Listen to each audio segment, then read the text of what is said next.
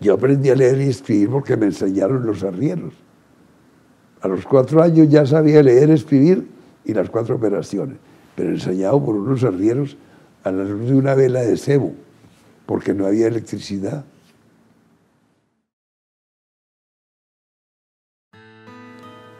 Yo crecí en medio de la violencia, de una violencia que a los niños no nos gustaba, porque pues poníamos los muertos, pero también poníamos la agresión. Y por eso cuando estuve en el gobierno me la pasé buscando la paz, con aciertos y desaciertos.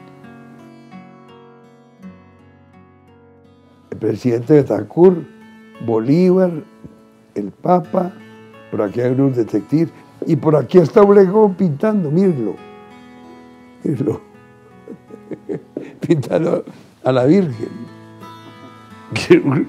Una cosa rarísima. Para el ser humano lo más enaltecedor es pedir perdón.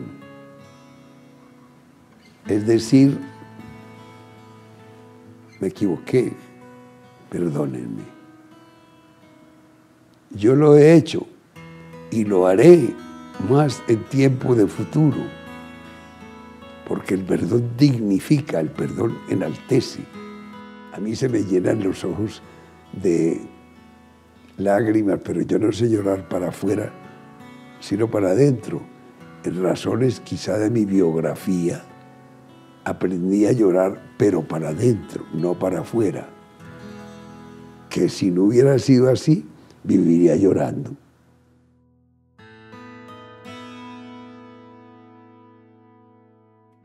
El creador de arte es un pequeño Dios.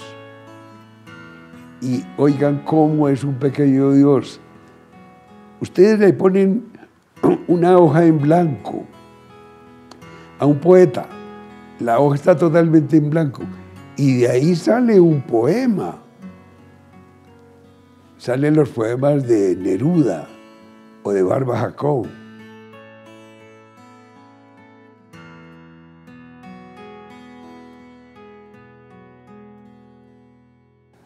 Un gran poeta mexicano llamado Ramón López Velarde tiene un hermoso poema que se llama El poema a la suave patria.